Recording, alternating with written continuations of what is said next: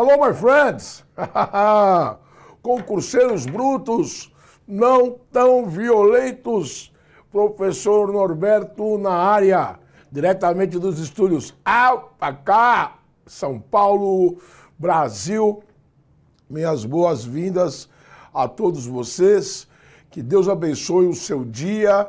Graças a Deus, vocês estão aí firmes e fortes preparando-se para concurso público. E nossa missão aqui, professor Norberto, neste momento, é iniciar esse curso de básicas, básicas para concurso. E nós vamos cuidar aqui do direito penal, beleza?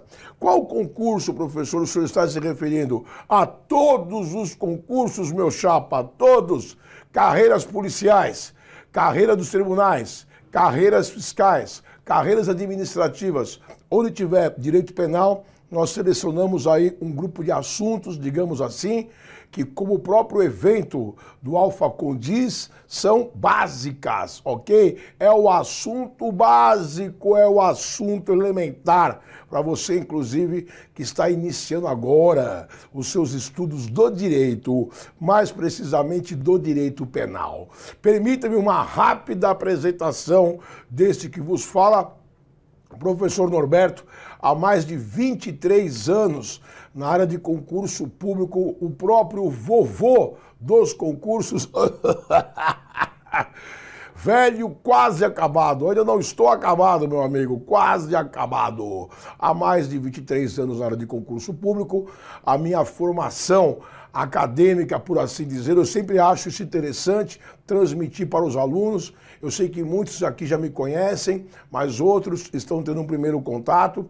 Então, eu sou formado inicialmente pela Academia de Polícia Militar do Barro Branco, aqui de São Paulo. Eu sou ex-oficial da PM, ex-capitão da Polícia Militar, onde trabalhei por 27 longos anos.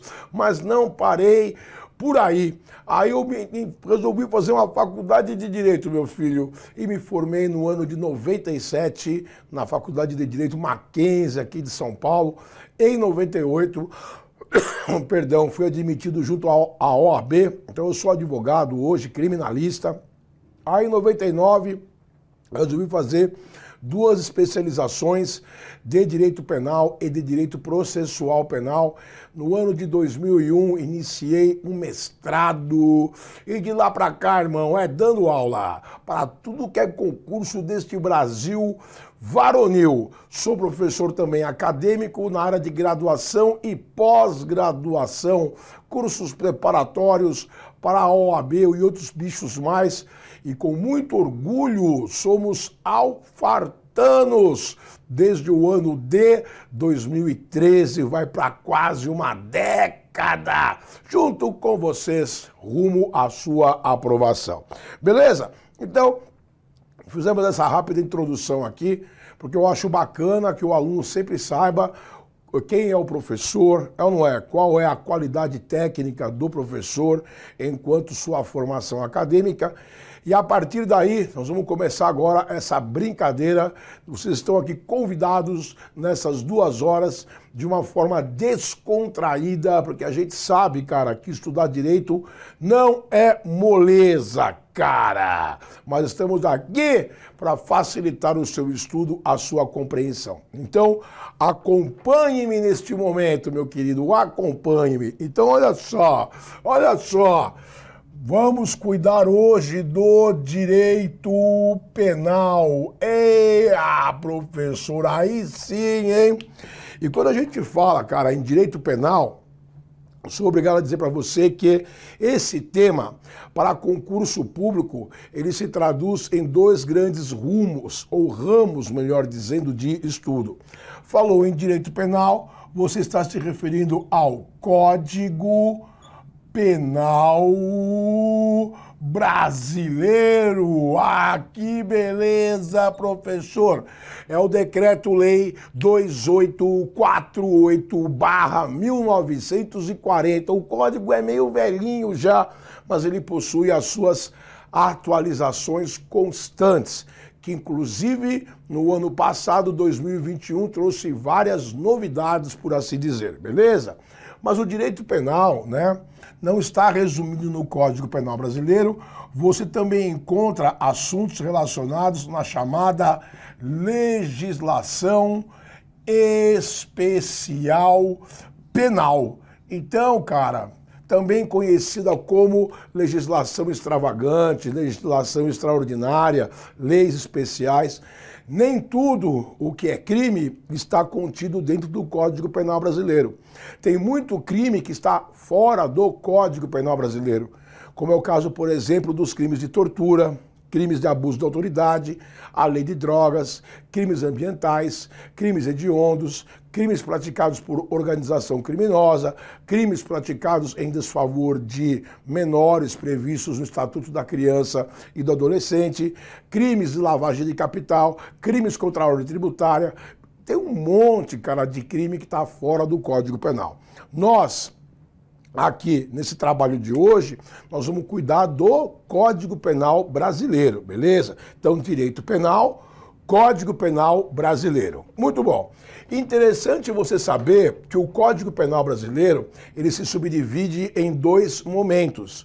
Existe uma parte introdutória do Código Penal, chamada de parte geral, ok? A parte geral do Código Penal começa no artigo 1 vai até o artigo 120, e como, e como o próprio nome diz, a parte geral, ela traz conceitos, conceitos que você precisa interpretar no direito penal para fazer a análise dos crimes. Então, a parte geral é uma parte conceitual muito importante, beleza? Que antecede o estudo dos crimes.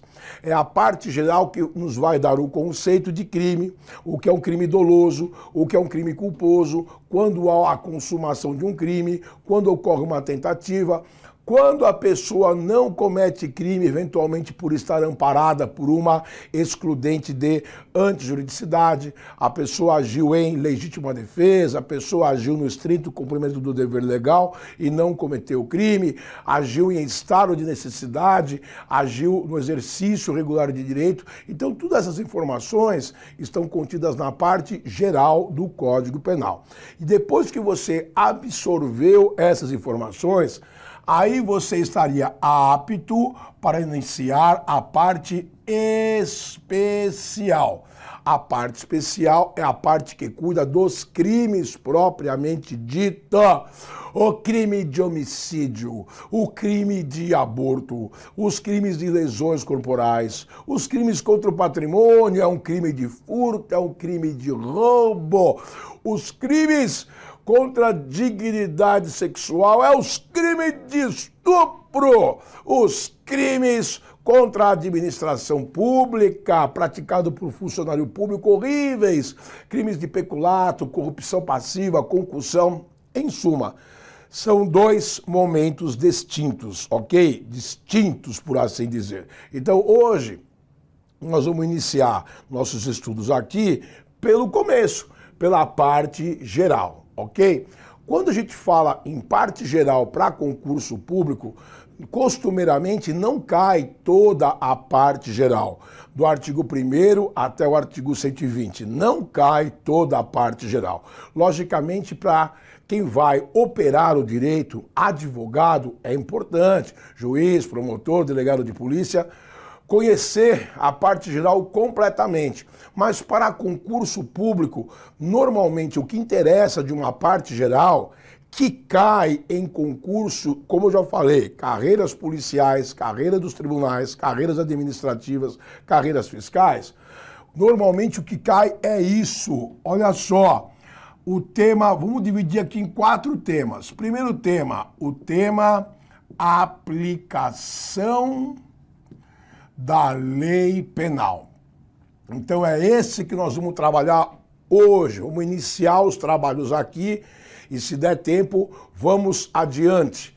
E quando você fala em aplicação da lei penal, estamos nos referindo do artigo 1 até o artigo 12 do Código Penal Brasileiro. Isso cai bastante em concurso.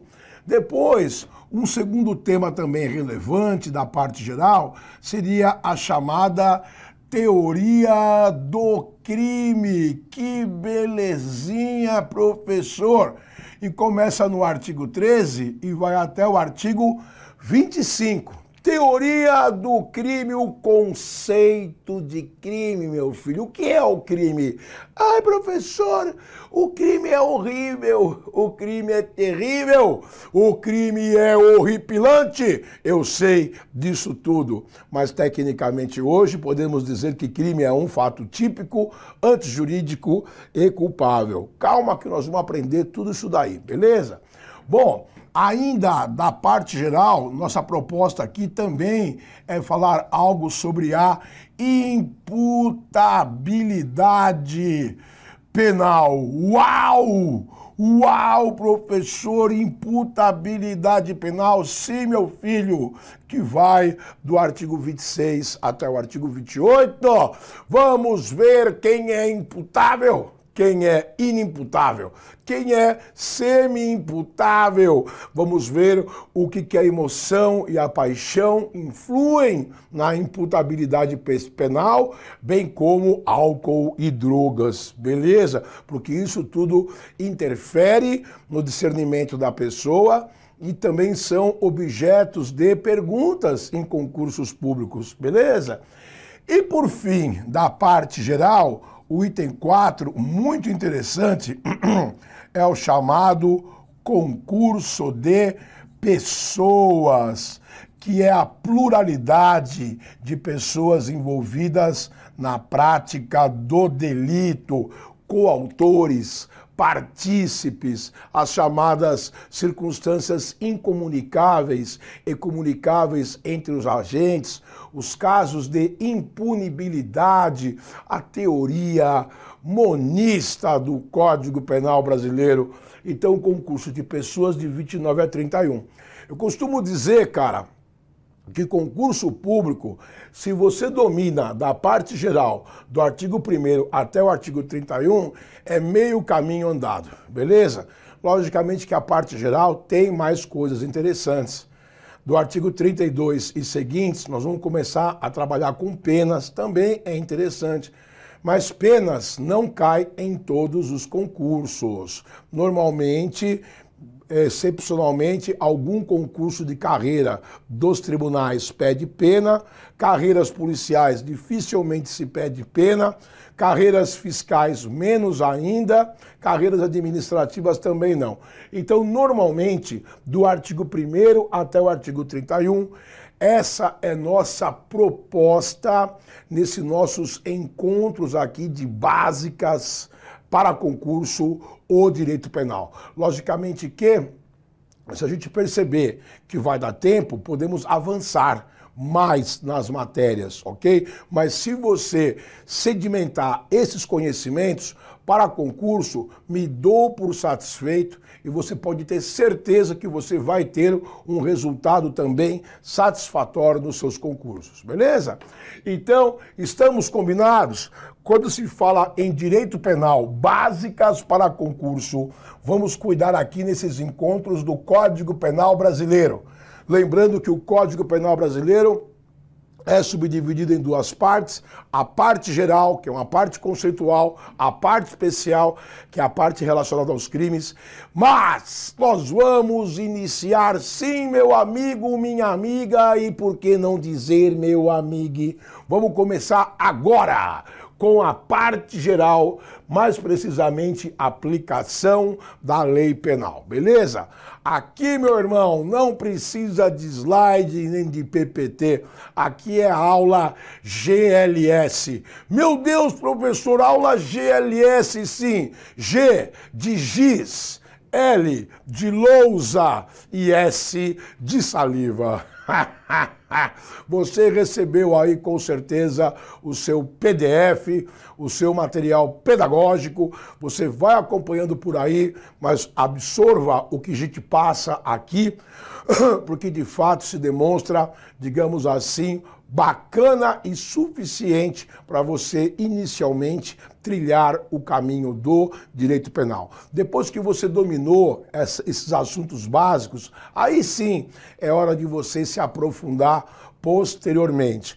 Mas eu sempre digo, cara, cuidado quando você aprofunda muito no direito, porque via de regra, esses concursos que nós preparamos vocês, todos eles, eles dizem respeito a noções de direito, a não ser que seja algum concurso específico para a carreira jurídica, um concurso de magistratura, juiz de direito, Ministério Público, promotor de justiça, delegado de polícia, que agora em alguns estados se, se exige a habilitação da OAB, ok? Ou até mesmo um curso preparatório para admissão na OAB. Aí você aprofunda mais o direito. Mas nos concursos aqui em linhas gerais, né, as básicas, o conhecimento básico se demonstra, via de regra, suficiente para você se dar bem, ok? Então, meus queridos, Vamos lá, o professor Norberto vai apagar aqui esta lousa maravilhosa e vamos recomeçar o nosso estudo aqui do Código Penal Brasileiro. Muito bom, meus queridos. É, professor Norberto voltando aqui aos estúdios. A gente está acostumado a ficar dando aula em casa, sentado na frente da tela. Blá, blá, blá. Vem para o um estudo o estúdio é outra pegada, é outra dinâmica, é só na movimentação, pra cá, pra lá. então vamos lá, cara. Olha aqui, ó. Vem comigo. Código Penal Brasileiro. Muito bom. Vamos abordar o quê? Vamos iniciar com a parte geral do Código Penal Brasileiro. E qual assunto, professor, nós vamos iniciar? Com o tema aplicação da lei penal. Então, esse é o nosso grande tema de estudo de hoje, aplicação da lei penal. E quando a gente fala em aplicação da lei penal, não pode esquecer que vamos abordar aqui do artigo 1 até o artigo 12, beleza? O que a gente costuma fazer, gente?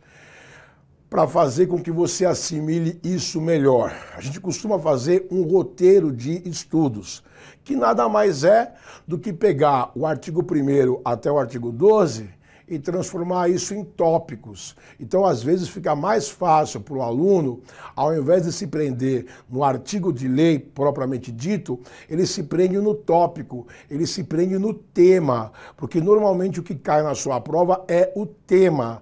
E a partir do tema, você chega no artigo. Não sei se estou me fazendo compreender bem, mas siga essa linha de raciocínio, essa metodologia que tem se demonstrado bacana para todos os concursos públicos. Então, a pegada é a seguinte.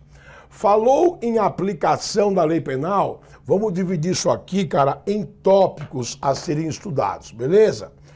Tópico número um, vamos conversar alguma coisa sobre o princípio da legalidade do direito penal. Esse princípio da legalidade, na verdade, você encontra ele no artigo 1 do Código Penal Brasileiro. Aparece com outro nome aí, aparece com o nome de princípio da anterioridade. Mas você vai ver que no frigir dos ovos é a mesma coisa. Eu vou explicar isso para você.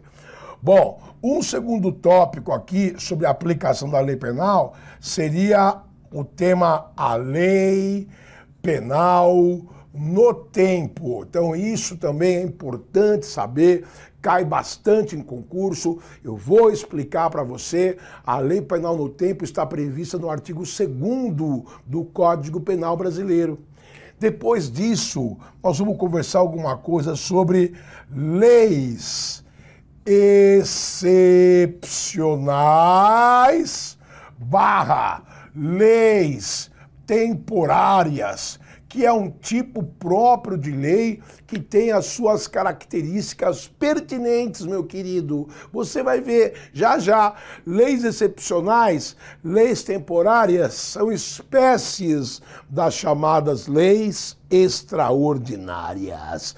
Ai, professor, é uma lei extraordinária, sim, porque é maravilhosa. E a lei extraordinária é diferente da lei ordinária. E nós vamos explicar tudo isso para vocês, ok? Muito bom. No próximo momento, no item 4, nós vamos falar alguma coisa sobre o tempo do crime. Meu Deus do céu, quer dizer que o crime tem tempo? É sim.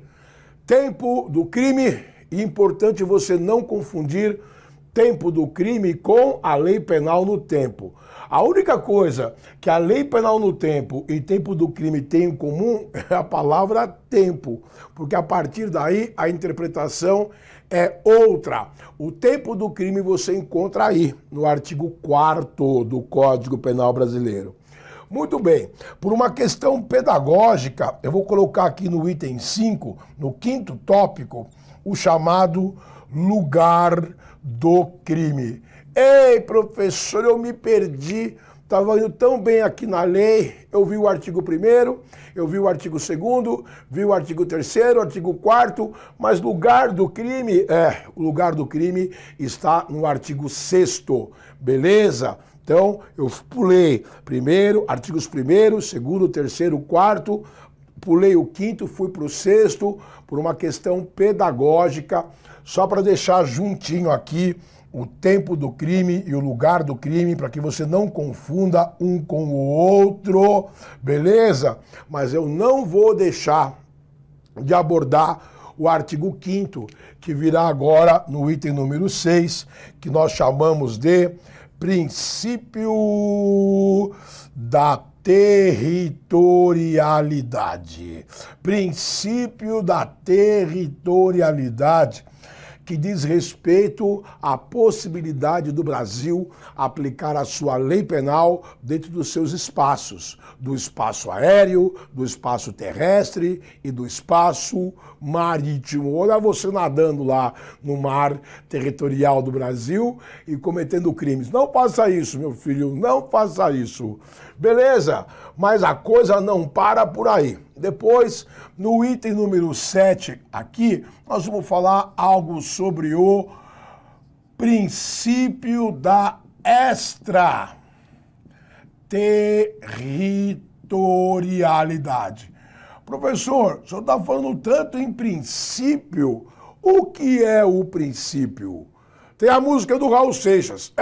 Eu sou o, o princípio. Estou mudando um pouco. O meio e o fim. Eu sou o início, o princípio, o meio e o fim. Ah, doido! Gente, princípio em direito não significa necessariamente a palavra início. Princípio em direito são conceitos tidos como verdades absolutas, inquestionáveis, princípios constitucionais aplicáveis ao direito penal. Tem um monte lá. Então, quando você ouvir a expressão princípio em direito, significa que é uma máxima da qual não cabe prova em sentido contrário. O princípio é uma verdade inquestionável, por assim dizer, Assim é interpretado no direito, beleza? Muito bem. Depois, no item número 8, nós vamos falar alguma coisa aqui sobre é, pena cumprida no estrangeiro, que pode cair também em concurso, sim. No item número 9, nós vamos falar sobre eficácia de sentença estrangeira e hoje está muito na moda o que? O caso do jogador Robinho, eficácia de sentença estrangeira. E aí, o jogador Robinho irá ou não cumprir pena no Brasil? Vamos discutir isso, por que não? Né? Depois, no item número 10, nós vamos falar alguma coisa sobre contagem de prazos. Então você precisa aprender a contar os prazos no direito penal, mas eu vou aproveitar aqui da nossa aula e ensinar você também a contar prazos no processo penal, beleza? Porque o Alfacom está em promoção. Você paga um e leva dois. Você está aqui aprendendo o prazo de direito penal, mas como estamos numa mega promoção, você já vai levar junto o prazo de processo penal, vai aprender a contar esses dois prazos hoje ainda. E no item 11, nós vamos falar algo sobre o chamado princípio da especificidade, também conhecido como princípio da especialidade, beleza? Meus queridos, olha que bacana então. Falou para você aplicação da lei penal, que é o título primeiro do Código Penal Brasileiro, parte geral, falou em aplicação da lei penal, na sua cabeça esse tema tem que se subdividir em 11 subtemas. Que subtemas são esses? Aqui estão eles. Princípio da legalidade, tem que saber alguma coisa, a lei penal no tempo, leis excepcionais e temporárias, tempo do crime, lugar do crime, princípio da territorialidade, princípio da extraterritorialidade, pena cumprida no estrangeiro, eficácia de sentença estrangeira, contagem de prazos e princípio da especificidade. Logicamente que quando o edital do concurso de vocês aparece lá Código Penal Brasileiro, parte geral, cara, todos esses tópicos são relevantes, mas em termos estatísticos, o que mais cai, professor, desses 11 tópicos que o senhor comentou? O que mais cai em concurso? Então eu sou obrigado a dizer que princípio da legalidade cai bastante, a lei penal no tempo cai bastante, leis excepcionais e temporárias também cai, tempo do crime, lugar do crime. Gente, esses são os principais tópicos. Não que os outros não caiam, mas esses cinco iniciais aqui têm uma ênfase maior em concurso público, tá bom? Então vamos começar depois que foi exposto aqui qual vai ser o nosso plano de estudo, vamos começar a abordar um a um esses tópicos. Então vem comigo, dá uma printada na tela, printou a tela, printou a tela, que tela maravilhosa! Printou a tela, então vamos começar do início. Vou apagar e vamos falar sobre o princípio da legalidade do direito penal com sua permissão, apagando a lousa maravilhosa. Ah, professor, o senhor está escrevendo bem, hein? O senhor está escrevendo bem. Muito bom. Vamos lá, gente. Mais uma vez, Código Penal Brasileiro. Eu vou escrever isso aqui até você decorar. Parte geral, aplicação da lei penal, item número 1, um, princípio da legalidade. Cara, vai ser o único princípio que eu vou escrever para vocês aqui na lousa, beleza? Então vamos lá. O que diz, professor, o princípio da legalidade? Também conhecido como princípio da anterioridade da lei, também conhecido como princípio da reserva legal, também conhecido como princípio da taxatividade Olha quantos nomes esse princípio tem. É tudo o mesmo princípio, mas apresenta vários sinônimos. Esse princípio da legalidade.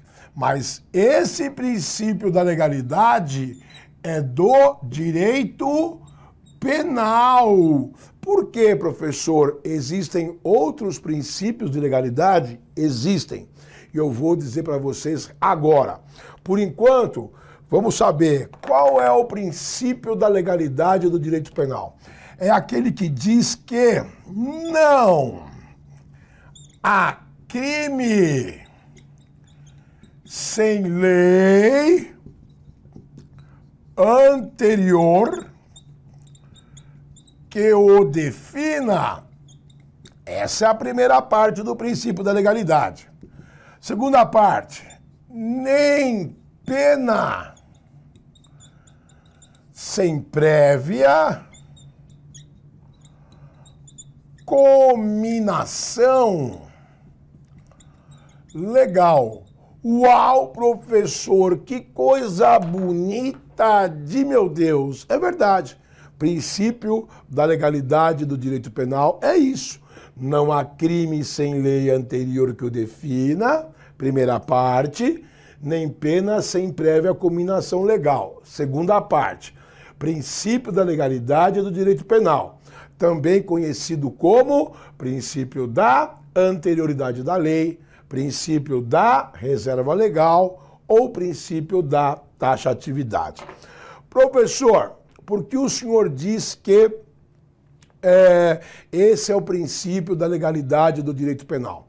Porque existe o princípio da legalidade do direito civil aquele que diz que ninguém será obrigado a fazer algo ou deixar de fazer algo, senão em virtude de lei. Esse é o princípio da legalidade do direito civil existe o princípio da legalidade do direito administrativo, aquele que diz que o servidor público, o funcionário público, no exercício da função, está obrigado a cumprir exatamente aquilo que a lei determina. Por exemplo, amanhã o indivíduo passa com o seu veículo uh, num semáforo farol, sinaleiro. O Brasil é curioso, né? Esses semáforos de trânsito, verde, amarelo, vermelho, cada estado tem uma denominação, cada região. Semáforo, farol, sinaleiro, o diabo que seja. Então tá lá, no sinal vermelho você passa com o carro. Pô, não pode, tá no sinal vermelho. E o agente de trânsito está olhando você ali, puxa o talão e está autuando você. Gente, o agente de trânsito, ele não multa. Quem multa é a instituição. O agente, ele autua. Tá lá autuando você. Aí você vê pelo retrovisor e fala, meu Deus do céu, o guarda tá me multando. Você volta correndo, você pede, por favor, policial, você está me multando, é isso? Aí o policial diz, não, eu estou desenhando. Desenhando uma árvore, desenhando os pássaros, Estou aqui com o talão de multa desenhando. É lógico que eu estou multando você, seu infrator da lei. Não faça isso, policial. Quebra o meu galho, filho. Quebra o galho, quebra. Aí o policial diz: Não, eu não puedo. Não pode, gente. Por quê? Porque se o Código de Trânsito Brasileiro diz que ultrapassar o semáforo na cor vermelha é uma infração de trânsito, o servidor público ele é obrigado a cumprir exatamente o que a lei diz.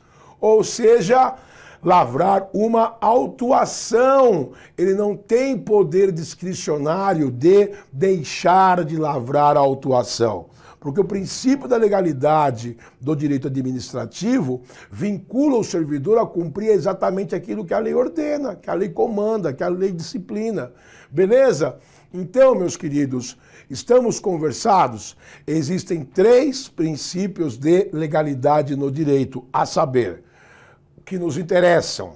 Princípio da legalidade do direito penal, que é esse aqui, não há crime sem lei anterior que defina, nem pena sem prévia combinação legal. O princípio da legalidade do direito civil, o qual estabelece que ninguém será obrigado a fazer algo ou deixar de fazer algo, senão em virtude de lei, e o princípio da legalidade do direito administrativo, que vincula o servidor público a cumprir exatamente aquilo que a lei disciplina, aquilo que a lei ordena. Beleza? Deixa o professor Norberto dar um gole de água. Vai tomar um gole de água. Porque está falando mais do que a nega do leite, com todo respeito a essa senhora que cuida do leite. Então, vem comigo aqui, cara. Vamos entender isso aqui então. Gente, o princípio da legalidade do direito penal ou o princípio da anterioridade da lei, já falamos. Ele está previsto no artigo 1 do Código Penal Brasileiro. E você sabe que esse princípio é tão bom, mas tão bom, que ele foi transcrito na nossa Constituição Federal. Você encontra o mesmo princípio, com os mesmos dizeres, aqui, ó, no artigo 5, inciso 39 da Constituição Federal de 88. Podemos até dizer que esse princípio da legalidade é um dos princípios constitucionais aplicáveis ao direito penal. Beleza? E o que, que ele nos esclarece? Gente, muito simples. Olha a primeira parte dele aqui, ó. Não há crime sem lei anterior que o defina. Gente, a interpretação é lógica para um fato ser considerado como criminoso, para um fato ser considerado como típico, previsto em lei como crime, é assim que a gente diz, o fato é típico, a conduta humana apresenta uma tipicidade, tipo penal, né? Essa é a expressão que se adota. Para que o fato seja crime, tem que ter uma lei anterior dizendo não pode fazer isso não pode fazer aquilo. Porque se a lei não diz nada em termos de crime, pode fazer, não é? Porque para ser crime tem que ter uma lei anterior dizendo o que você pode ou não pode fazer. Não há crime sem lei anterior que o defina. E eu costumo dar nesse exemplo com todo o respeito, por favor, com todo o respeito possível, a gente só cita esses casos aqui para fixar na memória do aluno um episódio ocorrido aqui no centro de São Paulo. Não faz muitos anos atrás. Era uma vez um ônibus cheio de pessoas, lotado. Uma moça sentada na cadeira, próxima do banco, próximo da janela, cochilando, dormindo. Zizi, zizi. E um cidadão, um mequetrefe, em pé. E não se sabe como o ônibus lotado, esse cara conseguiu, olha o absurdo, ele conseguiu ejacular na, no pescoço dessa moça. Trau! A moça tomou um susto e acordou. Meteu a mão aqui e falou: Mas o que, que é isso? o que, que é isso, meu Deus do céu? Logicamente que o povo agarrou o cara, deu-lhe um supapo, chamaram a polícia, levaram perante a autoridade policial, distrito policial, e o delegado, o delegado disse: Bonito, hein? Ejaculando no pescoço alheio, hein? Você está preso pelo crime de pá, ponto de interrogação. Qual o crime? Obviamente que foi uma conduta asquerosa, uma conduta antijurídica, uma conduta reprovável. Mas qual seria esse crime? Num primeiro momento se pensou, crime de estupro. Estupro, crime considerado hediondo, constranger alguém com emprego de violência, grave ameaça, a manter uma conjunção carnal ou um ato libidinoso diverso da conjunção carnal, será que chegaria a tanto a um crime de estupro? Ou será que seria um crime de ato obsceno? Puxa, mas o ato obsceno é muito pouco perante o que esse cara fez né, esse ato de ejaculação no pescoço da pessoa. Eu não acompanhei o final desse caso, né? mesmo porque eu não sou fofoqueiro. Não fico lá, eu não sei. Mas, logicamente, que na época alguma tipificação foi adotada em face do caso concreto. Talvez não a melhor possível. Mas uma coisa é certa: depois desse episódio surgiu o crime de importunação sexual. Opa, aí sim, agora está previsto como lei esse tipo de comportamento como sendo crime. Agora está claro, agora está tipificado, agora sim está ali previsto em lei como sendo crime esse tipo de atitude. Então, aí está a importância, gente, desse princípio. Primeira parte, não há crime sem lei anterior que o defina. As pessoas têm que saber efetivamente aquilo que é, o que é o crime. Por isso que se chama princípio da reserva legal. Reserva no sentido de se delimitar a conduta que passou a ser considerada como criminosa. E com isso não permitir uma interpretação além daquilo que a lei prevê para incriminar alguém, uma interpretação extensiva. Não é isso que nós queremos, não é isso o que a sociedade quer. O, o, a democracia, propriamente dita, o Estado democrático de direito, exige que condutas criminosas sejam delimitadas, próprias, específicas, beleza? Então, meus queridos, Sobre o princípio da legalidade, primeira parte, eu acho que está bem claro aqui. Que não há crime sem lei anterior que o defina. E a segunda parte também é interessante. Nem pena sem prévia cominação legal. O que significa isso? Significa que dizer que todo crime tem que ter expressamente previsto a quantificação da pena. A pena mínima e a pena máxima.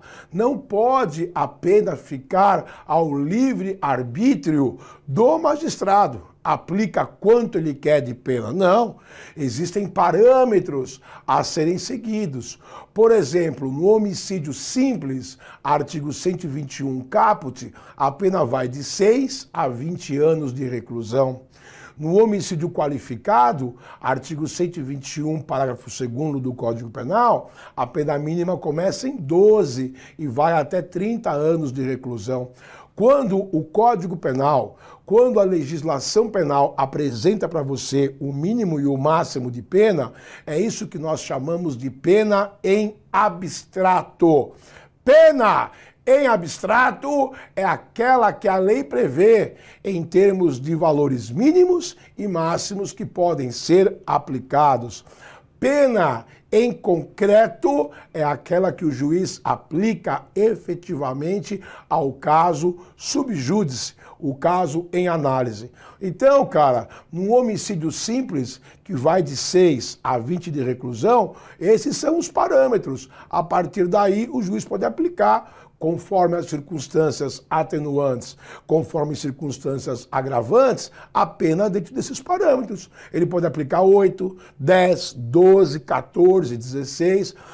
Essa aplicação da pena pelo juiz entre os parâmetros mínimo e máximo, levando em conta as circunstâncias atenuantes e agravantes, é o que nós chamamos de dosimetria da pena, a dosagem da pena em concreto diante da pena em abstrato que apresenta a norma penal. Beleza, meus queridos? Então é isso. Nem pena sem prévia cominação legal. Meus amigos, interessante que você saiba também essa expressão em latim. Não podemos esquecer que o direito surgiu lá em Roma, num primeiro momento.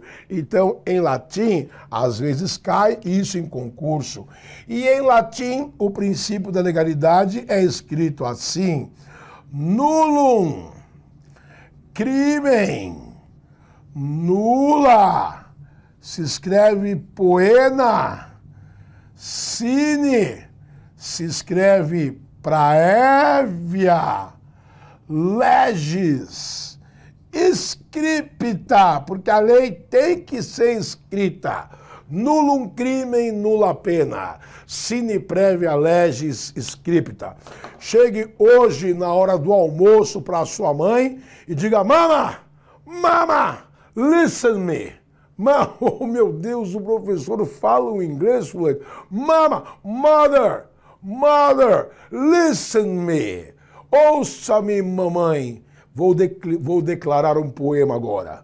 Nulum crimen, nula pena, sine prévia legis scripta.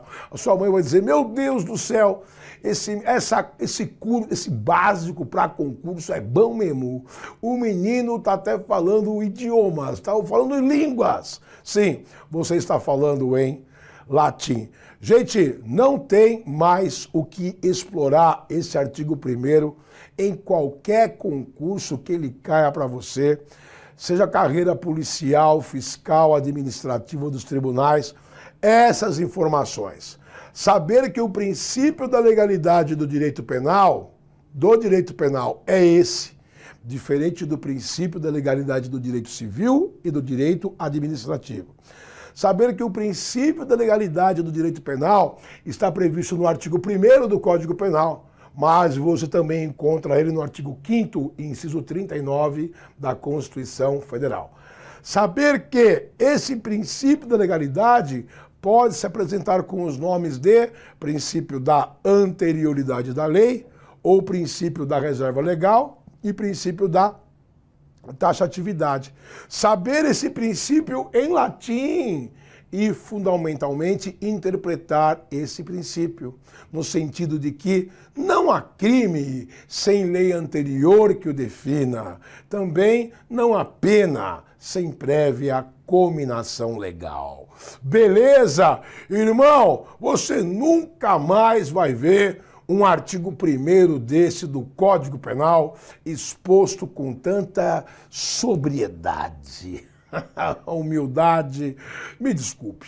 Lógico que você vai ver por aí outras interpretações, mas então melhores até do que a minha, mas com certeza essa para concurso matou a pau. Nunca mais precisa estudar o artigo 1 do Código Penal Brasileiro. Beleza? Muito bom! E agora você vai me acompanhar aqui para o lado de cada lousa, porque agora, dando sequência ao nosso estudo, Vamos falar aqui no item número 2 da nossa, do nosso roteiro, né? Que nós falamos da aplicação da lei penal.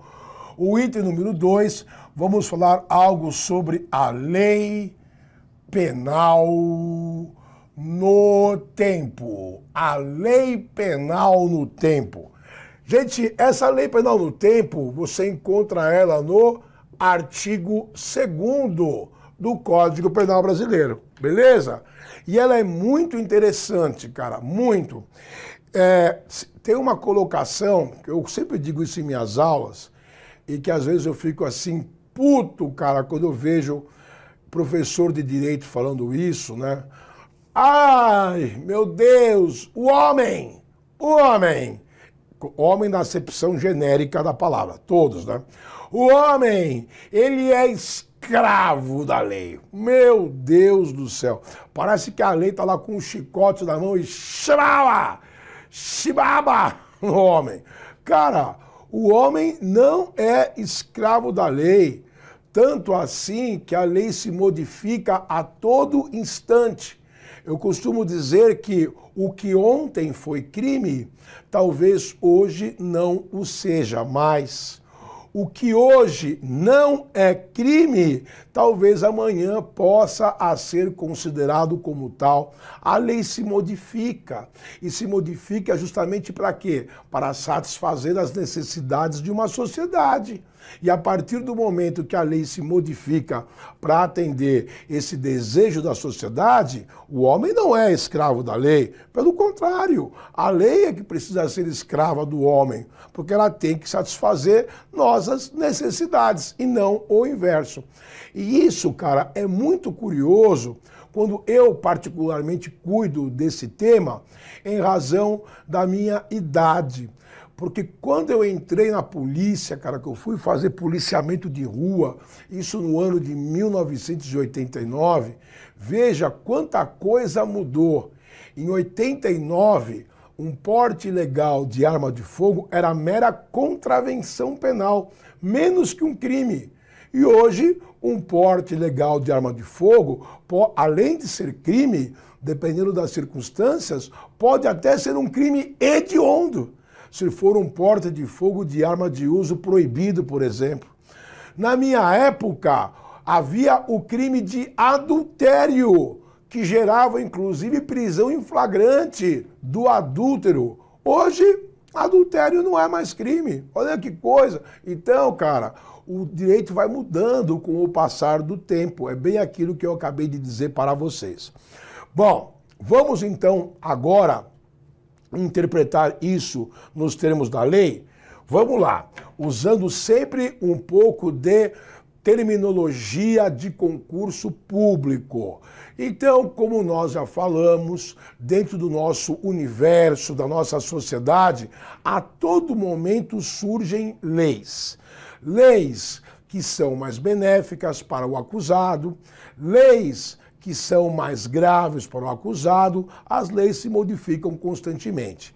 Sempre que surge uma lei mais benéfica, nós chamamos ela de lex meteor, que é uma lei melhor, beleza? Expressão em latim.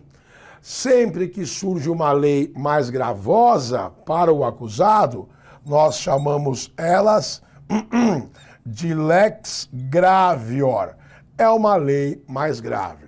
Então, ora a lei que surge é melhor, ora a lei que surge é mais grave em relação ao crime praticado pelo acusado. Beleza. Quando a gente fala em lei melhor, essa lei nova, ela pode apresentar duas situações. Ou a lei nova, ela gerou uma abolício criminis, se escreve abolitio, mas se pronuncia abolício, porque palavras em latim, terminadas em ditongo, antecedidas de T, o T se pronuncia C. E o que é uma abolício criminis? O fato não é mais considerado como criminoso.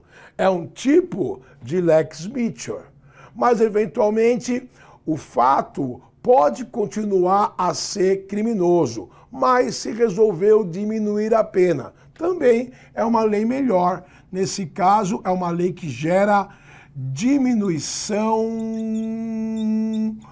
de pena. Então, a lei nova pode apresentar essas duas características. Ou a lei nova mais favorável ao acusado ou ela criou uma situação de abolício crimes, que o fato não é crime, ou o fato continua sendo crime, mas a pena diminuiu. Pode acontecer isso. Então, quando ocorre, gente, essa figura de uma lei melhor que entrou em vigor, essa lei que entra em vigor, necessariamente ela vai retroagir ao passado. Ela volta ao passado para beneficiar a pessoa do acusado. Ela retroage. Toda lei nova mais benéfica, seja abolício crimes, seja caso de diminuição de pena, ela volta ao passado, produz efeitos ao passado, ela retroage in melius para melhorar a vida da pessoa. E se ela produz efeitos ao passado, em direito se diz que ela produz efeitos ex para trás. Nossa, professor, eu tenho que aprender latim desse jeito. Olha, em concurso, dependendo né, de qual concurso, já vimos essas expressões caírem à exaustão. Então é bom saber para não se surpreender na hora da prova. Lex meteor retroage in melius, produzindo os efeitos ex tunc para trás. Professor, e vai retroagir até quando? Podemos dizer aqui no linguajar coloquial, vai retroagir até o talo. e o que significa isso, gente? Que essa lei nova, ela vai atingir inclusive uma sentença transitada em julgado. Ou, se você quiser, a chamada sentença irrecorrível é a mesma coisa. Então, sempre que surge uma lei melhor, ela retroage ao passado, ela retroage em melius, produz efeitos ex tunc, ela desconstitui a sentença transitada em julgado, ela faz cessar os efeitos penais. E o que significa fazer cessar os efeitos penais? Se você estava encarcerado, cumprindo pena privativa de liberdade, você é posto em liberdade.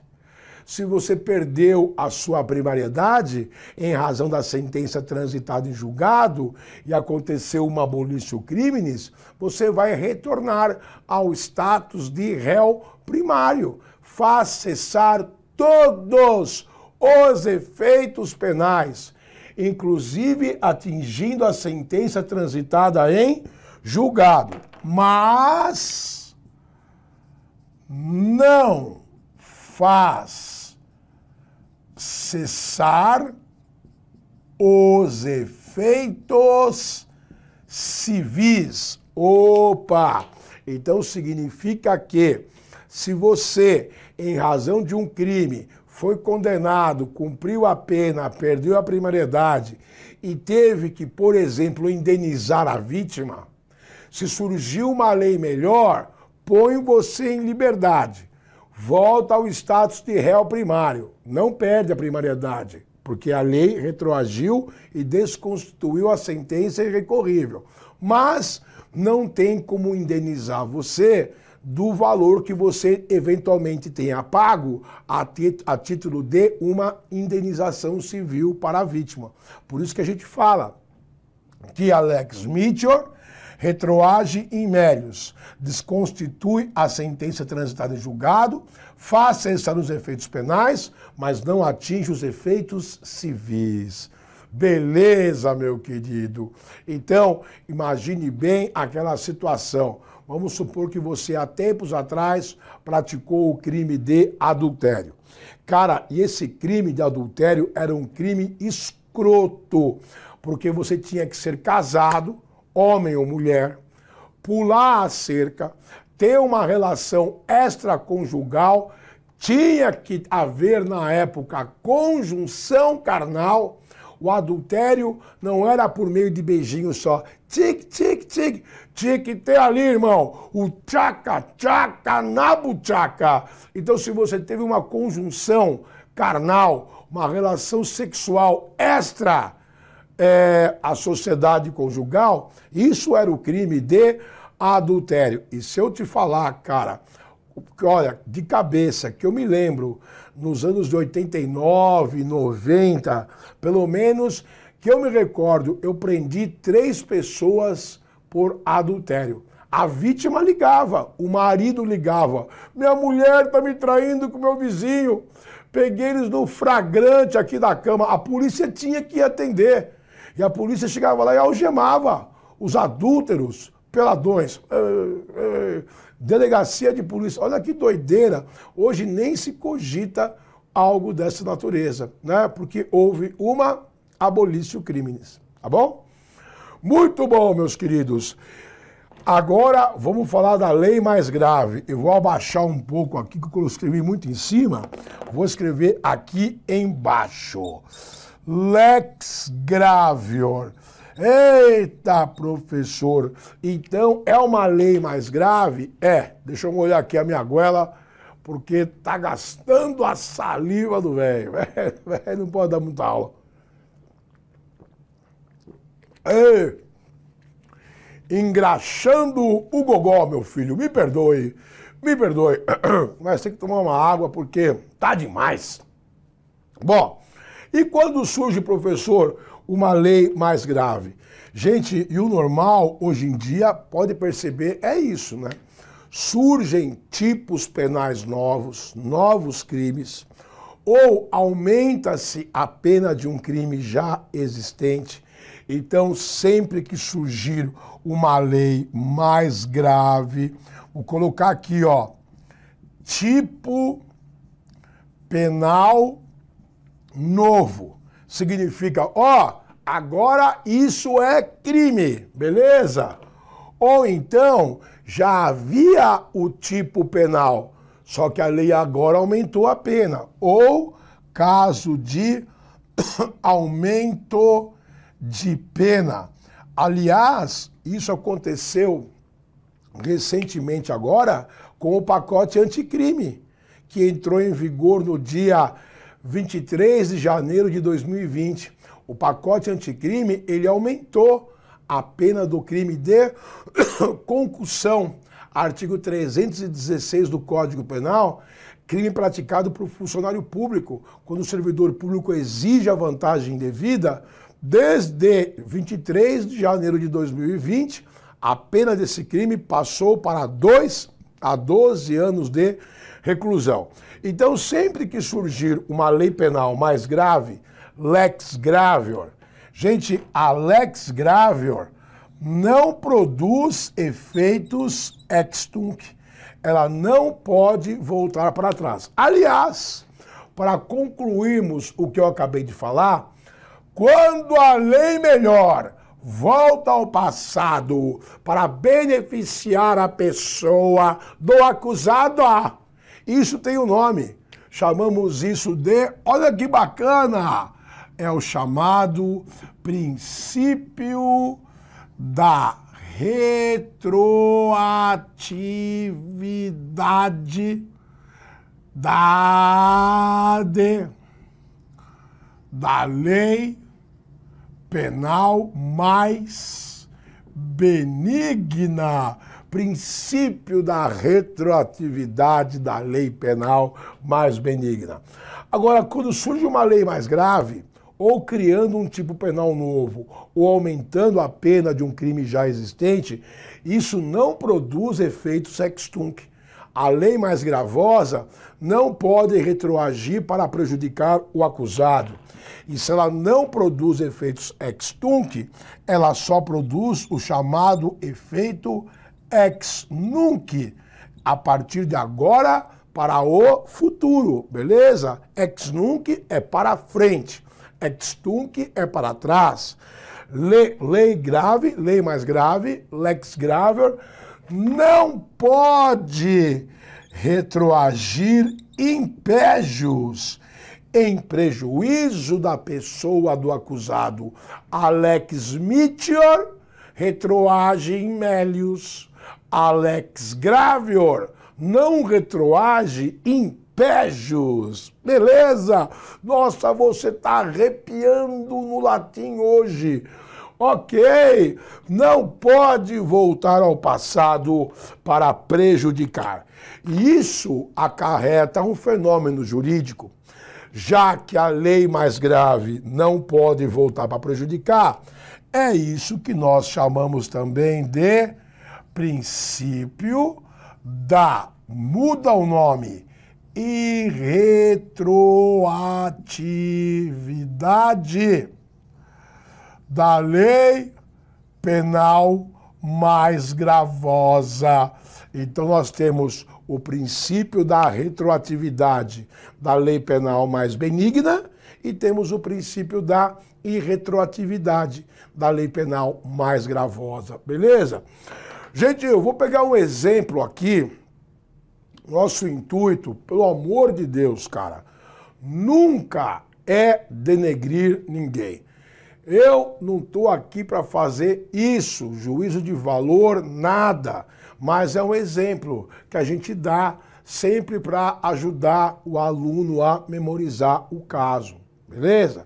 Então, vou pegar como exemplo o caso daquela moça que é de, que é tá sempre na mídia isso daí, né? É de conhecimento geral, que foi assassinada no início da década de 90 e que causou uma repercussão nacional. Estou me referindo ao caso daquela ex-atriz Daniela Pérez, beleza? Se eu não me engano, as datas exatas eu não sei, mas foi no início dos anos 90, meados, que essa moça foi assassinada. Meu Deus do céu! Inclusive por um outro ator de televisão e sua namorada na época. Né? Então houve o assassinato de Daniela Pérez e o crime na época era esse. Artigo 121 do Código Penal, homicídio, parágrafo 2 o chamado homicídio qualificado. Beleza? Um homicídio grave, não resta dúvidas. Todo homicídio é grave, mas o qualificado a pena é maior ainda. Muito bom. Aí o que aconteceu? A mãe dessa moça, conhecida, né, autora de novelas, a Glória Pérez, com a ajuda da emissora na qual trabalhava, fizeram uma coleta de assinaturas no Brasil inteiro. Para quê?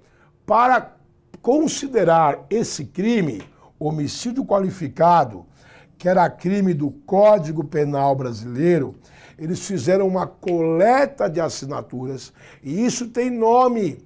Isso se chama Iniciativa Popular com proposta de que o Congresso Nacional modificasse a lei e o homicídio qualificado passasse a ser crime considerado hediondo. E conseguiram. Conseguiram. Isso no ano de, salvo engano, 1994. Beleza? A partir daqui, o homicídio qualificado passou a ser crime hediondo. Beleza? Muito bom. Uma lei mais grave, por assim dizer.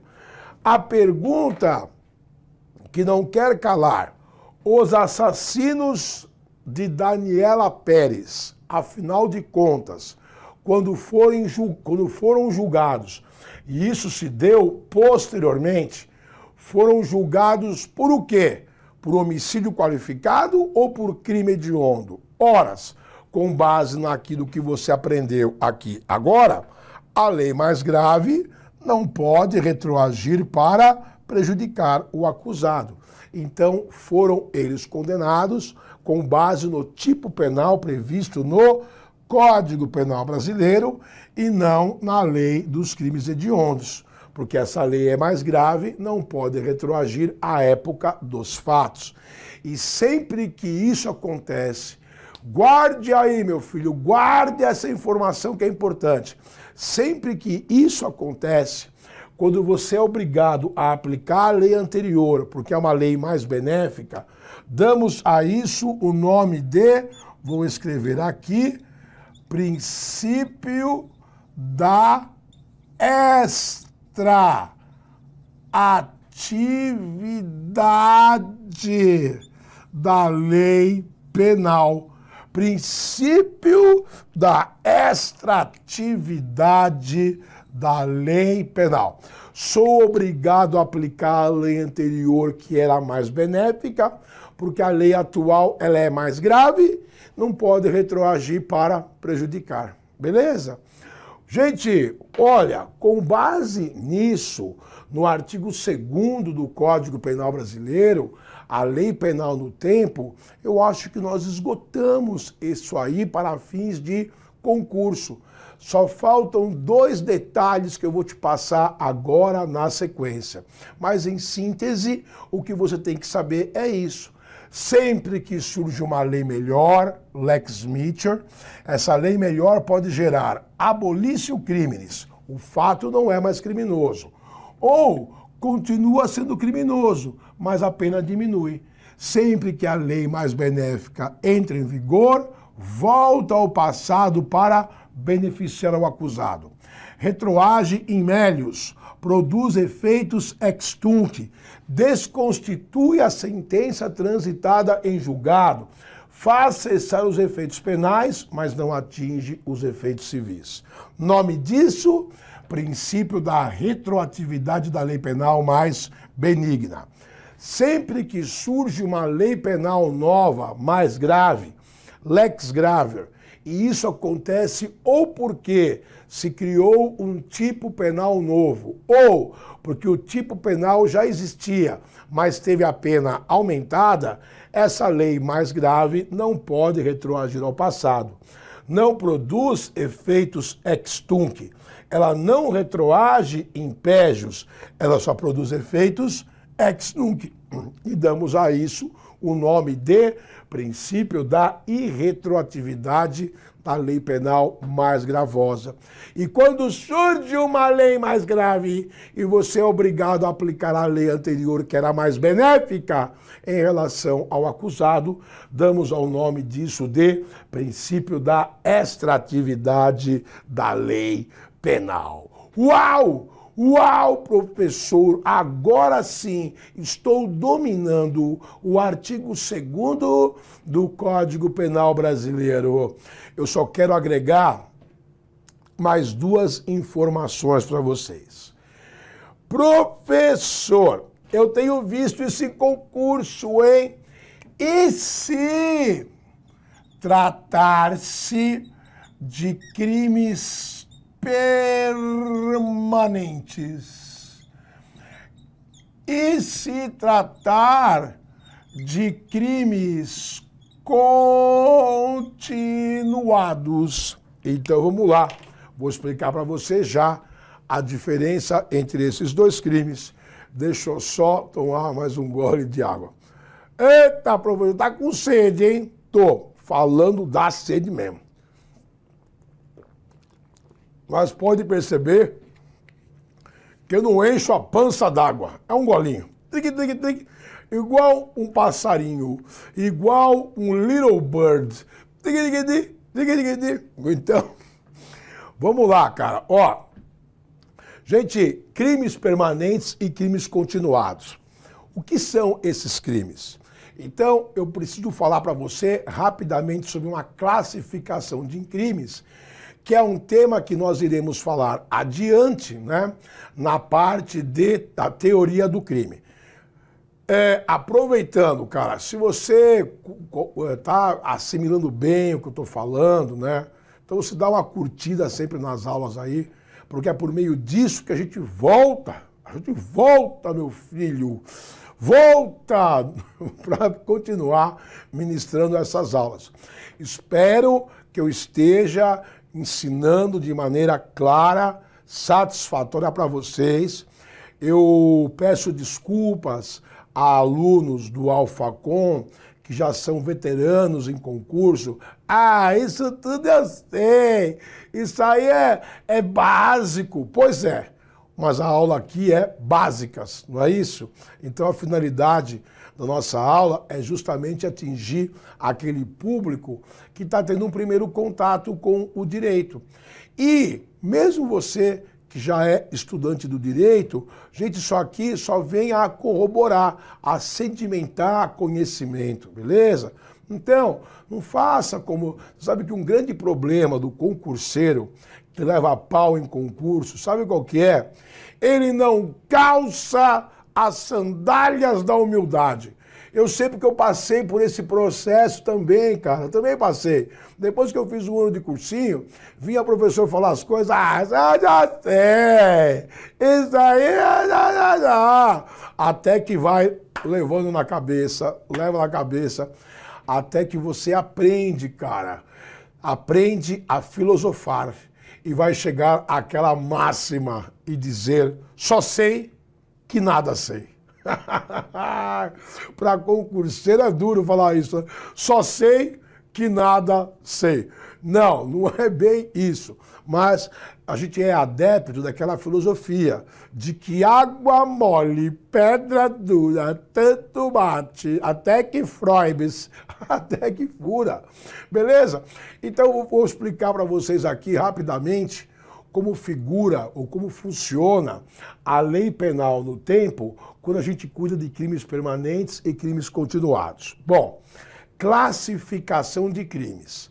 Tem crimes que são classificados como instantâneos. São crimes que acontecem na hora, no momento. Um homicídio, matou o cara, está consumado o crime, um crime instantâneo um crime de furto, um crime de roubo, um crime de estupro, são crimes que se consumam com o ato em si, né? no, no momento. Agora, tem crimes que não. Tem crimes que se perpetuam no tempo e no espaço. O crime não para, por assim dizer. E que tipo de crimes são esses? São esses classificados como permanentes e crimes continuados. O crime permanência, ele não cessa enquanto não parar a permanência. O crime continuado, ele não para enquanto não cessar a continuidade delitiva. É como se o crime fosse se perpetuasse no tempo e no espaço. Exemplo de crime permanente, o clássico, extorsão mediante sequestro. Enquanto a vítima está em cativeiro e o criminoso está lá aguardando o pagamento do resgate, o crime está acontecendo. Isso é um crime permanente. Os crimes continu continuados são aqueles crimes praticados de forma é, delitiva, da mesma natureza, de forma sequencial. Então vamos imaginar que um cara pega uma motocicleta para praticar roubos. Então ele sai de casa 11 horas da noite. Às 11h15 ele praticou um assalto. Às 11h40 ele praticou outro, o pessoal não perde tempo, né? É assim. Às 11h40 praticou outro assalto. À meia-noite e 20, um outro assalto. À meia-noite e 50, quando foi praticar o quarto assalto, ele foi preso. Então, na verdade, isso são crimes continuados. Em verdade vos digo, o entendimento é que houve um crime só. Se o crime é da mesma natureza e praticado de forma sequencial, numa, numa continuidade delitiva, é um crime só. Um crime de roubo com a pena agravada. Bom, isso é uma outra história. Então, só quero dizer para você a diferença entre um crime instantâneo, que se consuma na hora, de um crime permanente e um crime continuado. Enquanto não cessar a permanência, enquanto não cessar a continuidade delitiva, o crime está acontecendo, beleza? Essa é a interpretação. Então imagine você que um crime permanente está acontecendo, um crime em continuidade delitiva está acontecendo e durante a permanência ou durante a continuidade delitiva entra em vigor uma nova lei. A lei mais grave entra em vigor antes de cessar a permanência, antes de cessar a continuidade delitiva. E a pergunta que não quer calar é: e aí? Aplica-se a lei penal mais grave em face desses dois casos? E a resposta é sim. Se a lei mais grave entrou em vigor antes de cessar a permanência ou antes de cessar a continuidade delitiva, o sujeito ativo vai responder na pena da lei mais grave. Não foi, no caso, a lei mais grave que retroagiu para prejudicar o sujeito ativo, mas foi o sujeito ativo que, em razão da permanência, de, da não cessação da permanência e da não cessação da continuidade delitiva, foi o sujeito ativo que alcançou, por assim dizer, a vigência da nova lei mais grave. Por isso que nesses casos, casos de crimes permanentes, casos de crimes continuados, quando entra em, lei, em vigor uma lei mais grave anterior à cessação da permanência ou anterior à cessação da continuidade delitiva, será aplicada essa lei mais grave em face dos casos concretos. Beleza, meus queridos? Muito bem. Espero ter me feito compreender. E por último, para a gente mudar aqui do artigo 2 para o próximo, quero dizer o seguinte: professor, essa lei penal no tempo, princípio de retroatividade de lei mais benigna, etc e tal, aplica-se para todas as leis? Todas as leis? Eu diria que não. Aplica-se apenas para as chamadas leis ordinárias. Eia! Gente, e o que é uma lei ordinária? É a lei que tem sua origem na Casa das Leis. E a Casa das Leis, você sabe, é o nosso maravilhoso Congresso Nacional. Então, isso é uma lei ordinária. Princípio de irretroatividade de lei mais gravosa. Retroatividade de lei mais benigna só vai ser aplicado para leis ordinárias. Eu quero que você guarde isso por enquanto, porque já já eu vou falar para vocês sobre as leis extraordinárias, beleza? Professor, meu Deus do céu! Então quer dizer que esses princípios, pelo que o senhor me disse, aplicam-se às leis ordinárias? Sim. A todas as leis ordinárias? Não. Ah, não. Ah, não. Assim vou ficar doido. Jojo, explique isso melhor. Aplica ou não aplica para a lei ordinária esse princípio de retroatividade de lei mais grave? Gente, aplica, mas não é para toda a lei ordinária. Porque eu vou te dar um exemplo aqui de uma lei ordinária que não se aplica. Qual? Leis de direito processual penal. Eita! miséria, professor. Então, para a lei de direito processual penal, não se aplica princípio de retroatividade e princípio de irretroatividade de lei penal mais grave? Gente, não se aplica. E eu vou te dizer o porquê. Um motivo muito simples. Não existe lei processual penal melhor não existe lei processual penal mais grave. Não existe. Porque lei processual penal não cria tipo penal novo. Lei processual penal não aumenta a pena de crime já existente. Lei processual penal não gera abolício crimes. E lei processual penal não tem caso de diminuição de pena. Lei processual penal só cuida do rito da investigação. Lei processual penal só cuida do rito do processo. Quer dizer, muda a forma de apurar. Tão somente isso. E por esse motivo é que se diz que não tem lei processual penal mais grave ou mais branda. A regra relacionada à aplicação de lei processual penal é clara. A regra é clara.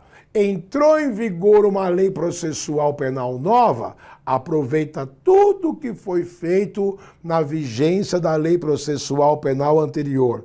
E a partir da lei processual nova, muda o rito do julgamento. Começa a julgar, começa a apurar de forma diferente, aproveitando-se tudo aquilo que foi feito na vigência da lei processual penal anterior.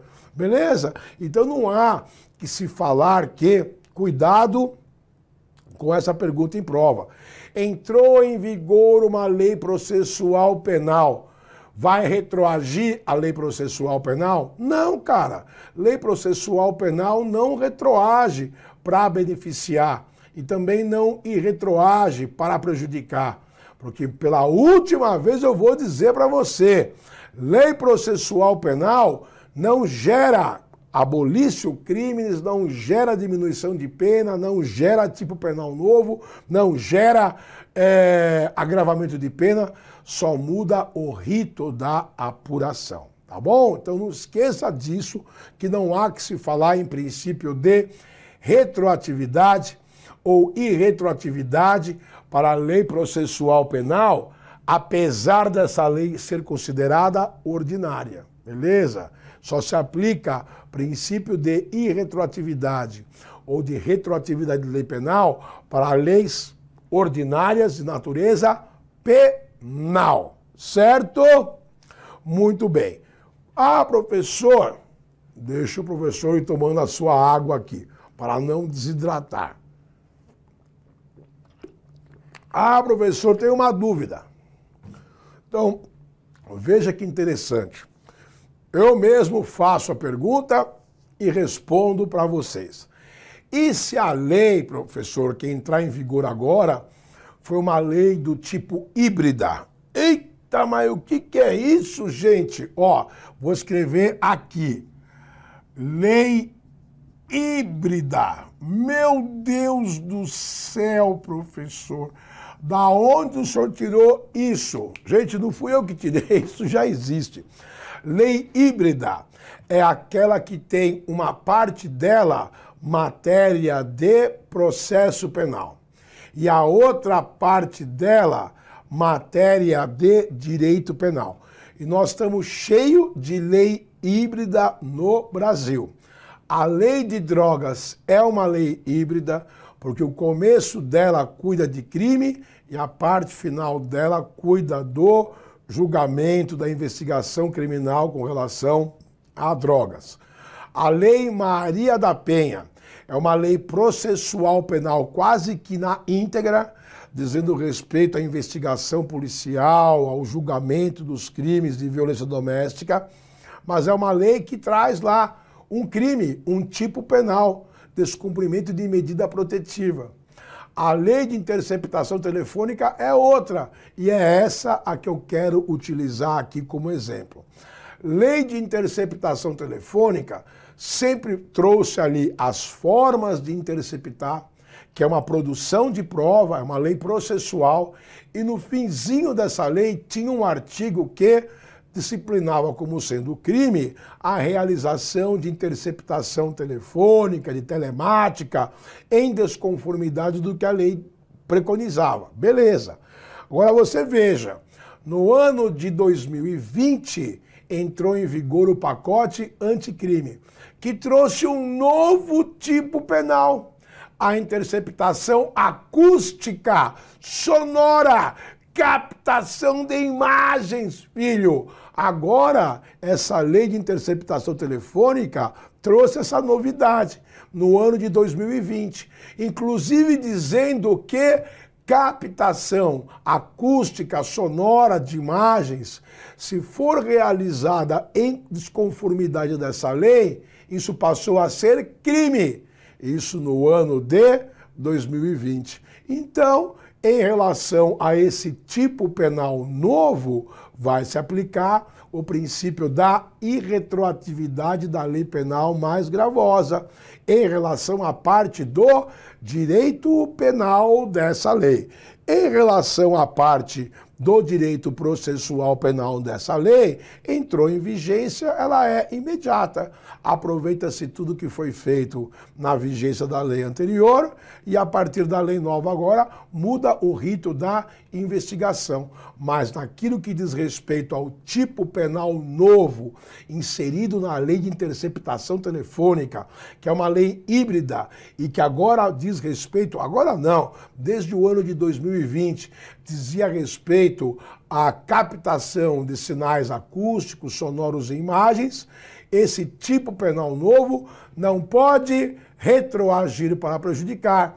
Começou a produzir efeitos somente a partir do dia 23 de janeiro de 2020, logo produzindo efeitos ex nunc para o futuro. Então, isso em relação a leis híbridas leis que contêm matéria de direito penal e direito processual penal.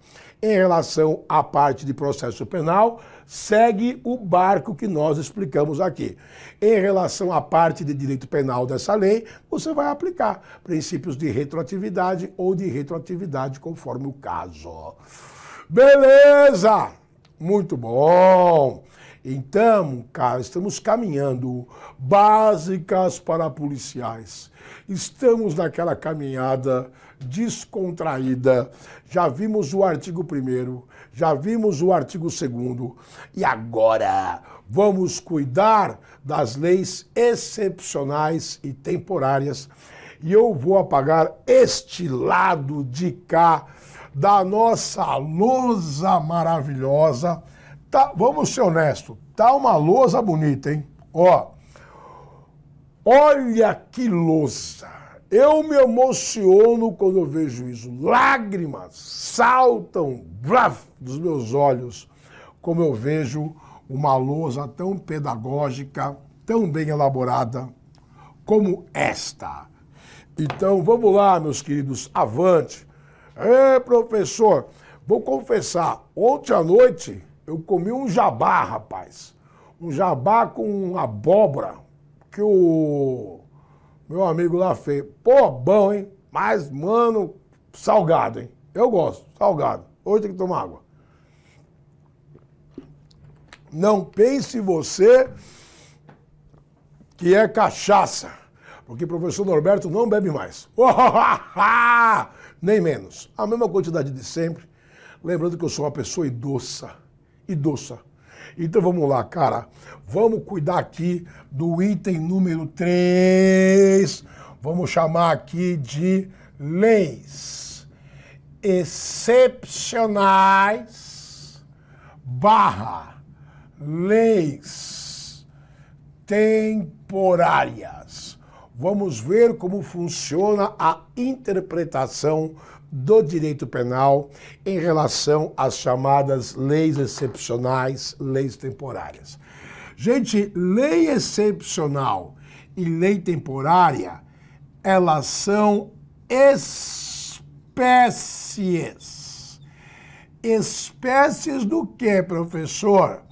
das chamadas leis extraordinárias. Uau, professor! Uau! Leis extraordinárias? E que bicho é esse? Cara, como você viu, as leis, via de regra, são ordinárias. Ordinárias no sentido de leis criadas dentro de uma ordem e a ordem constitucional manda que essas leis sejam criadas pelo Congresso Nacional. Por isso, leis ordinárias nascem onde deveriam nascer, na casa das leis. Mas e lá, você acompanha isso pela mídia, né? São leis discutidas. Então sai da Câmara dos Deputados, vai para o Senado, aí recebe emendas, volta para a Câmara dos Deputados segue para a sanção ou veto do presidente da República, retorna. Então você percebe que são leis que demoram efetivamente para serem criadas, porque é da essência delas. Agora, aqui, leis extraordinárias são leis emergenciais. Não dá tempo de ficar discutindo no Congresso Nacional. Tem que entrar em vigor agora e quando eu digo agora é now! Now! Porque se não entrar em vigor agora, a vaca vai pro brejo, meu irmão. Beleza? Então, a diferença entre uma lei ordinária e uma lei extraordinária tem a ver com a sua origem, de onde ela foi emanada. Tem a ver com o grau de urgência para a sua entrada em vigência. Então, isso são leis extraordinárias. E as leis extraordinárias se subdividem em duas categorias. Leis excepcionais é um tipo de lei extraordinária. Se a lei excepcional e a lei temporária é espécie da lei extraordinária, é como se a lei extraordinária fosse o gênero, do qual leis temporárias e excepcionais são espécies. Gente, como o próprio nome sugere, a lei excepcional e a lei temporária não é uma lei que veio para ficar, porque justamente é uma lei emergencial. É uma lei que tem que produzir os seus efeitos ou o seu prazo de vigência enquanto a excepcionalidade está presente, enquanto o estado emergencial da situação exige. É uma lei que não foi criada com caráter definitivo, mas com caráter provisório. Por isso o nome, leis excepcionais e leis temporárias. A diferença entre uma lei temporária e uma lei excepcional tem a ver notadamente com o seu prazo de validade. Normalmente, uma lei excepcional, quando entra em vigor, ela precisa ser revogada por uma outra lei excepcional. Tem que entrar em vigor uma outra lei dizendo não se aplica mais a lei tal. Por exemplo, a lei temporária já não. A lei temporária, via de regra, ela já vem com um prazo de validade na própria lei. Esta lei entra em vigor no dia tal e vale até o dia tal. É uma lei que já tem ali o seu prazo de validade estipulado no próprio corpo da lei. A gente costuma dizer que a lei temporária é uma lei que se auto-revoga. Exemplo de lei temporária no Brasil mais recente: a lei da Copa do Mundo, que autorizou a venda de bebida alcoólica no estádio. Ah! Ah! E é justamente aí que a desgraça acontece. É ou não é? Vai lá para torcer, meu filho. Não é lá para encher a cara de cachaça e depois fazer coisa errada. Então, mas na época da Copa do Mundo, se entendeu que o que é uma, me perdoe, na minha opinião, uma puta de uma hipocrisia. Por que, que na Copa do Mundo pode beber e no Brasileirão não pode? Não pode de jeito nenhum. Não deveria poder de jeito nenhum. Eu falo isso, gente, como ex-policial militar, que trabalhou na área de policiamento de choque, que trabalhou com torcedor. Olha, e torcida organizada é um negócio complicado, sem bebida alcoólica. Você imagina com os ânimos exaltados por conta do consumo do álcool. Eu não vou nem entrar aqui nesse mérito, que não, não vem ao caso, mas apenas para dar para vocês um exemplo de uma lei temporária que autorizou o consumo de bebida alcoólica no Brasil durante o período da Copa. Quando a Copa se encerrou, a lei deixou de ter aplicabilidade. Beleza? Então, já sabemos que a lei extraordinária é o antônimo da lei ordinária. Já sabemos que lei excepcional e lei temporária são espécies de lei extraordinária. Já sabemos que a diferença entre uma lei excepcional e a lei temporária é o seu prazo de validade. Lei excepcional entra em vigor para deixar de existir, tem que ter uma outra lei excepcional, e a lei temporária é aquela que tem prazo de validade, beleza? Agora, vamos interpretar isso num exemplo. Meus amigos, Hoje é dia. Hoje é dia de fantasia. Carnaval semana que vem. Estaremos aqui no Alfolia. Leiro, leiro, leiro. Leiro, leiro, leiro. Juntos com vocês, uma aprovação. Hoje é dia 18 de fevereiro. Muito bem. Vamos criar uma situação hipotética. Faz de conta que ontem, 17 de fevereiro, o presidente Bolsonaro virá aqui para a cidade de São Paulo. Ele virá, virá hoje, beleza? Mas, ai, professor, mas ele está na Rússia, eu sei, porra! É só um exemplo. Então vamos imaginar que Bolsonaro vem para São Paulo hoje, beleza? E ele está preocupado. Ele está preocupado porque ele já foi esfaqueado. Ele está preocupado porque já tentaram matar o presidente. Essa é uma verdade indiscutível. Tentaram matar o presidente. Então ele preocupado com manifestação, porque ele é né, manifestação, ele é preocupado com manifestação. Então, temendo pela sua integridade física, Bolsonaro edita uma lei extraordinária nos seguintes termos: uma lei temporária. A partir do dia 18 de fevereiro, hoje, isso foi publicado no Diário Oficial de ontem, né? Ou do dia das zero horas do dia 2. A partir do dia 18 de fevereiro, disse Bolsonaro, está proibido toda e qualquer manifestação em via pública na cidade de São Paulo. Não pode se manifestar no período das 8 até as 18 horas. Está proibido concentração de gente nas ruas para se manifestar. E se alguém for pego, crime, com pena de 3 a 6 anos de reclusão. E foi publicado em Diário Oficial de hoje. Gente, sem levar em consideração os aspectos constitucionais. Ei, professor, essa lei contraria o princípio da liberdade de locomoção, eu sei. Ei, professor, medida provisória não pode criar tipo penal, eu sei. Só para exemplificar, vamos supor que essa lei entrasse em vigor no dia de hoje, 18 de fevereiro, e tem prazo de validade de 30 dias. Então ela vai do dia 18 de fevereiro até o dia 17 de março, quando essa lei deixa de existir. E olha, obedeceu ao princípio da legalidade, hein?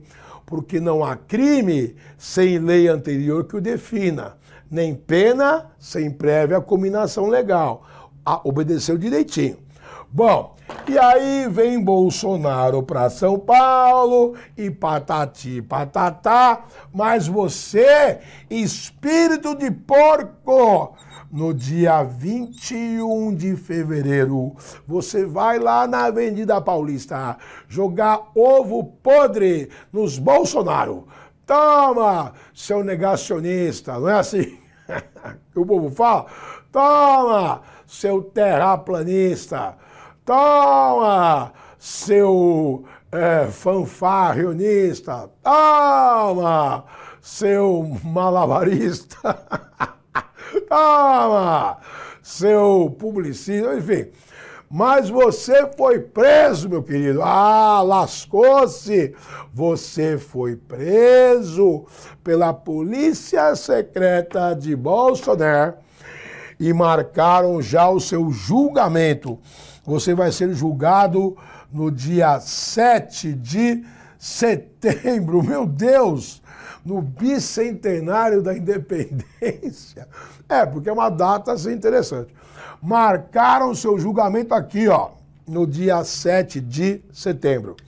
Gente, a pergunta que não quer calar é: considerando-se que o fato foi praticado no dia 21 de fevereiro e é crime, considerando-se que no dia de 17 de março ocorreu uma abolício crimes, porque o fato deixou de ser considerado como crime. Considerando isso, essa abolício crimes vai retroagir ou não para beneficiar você?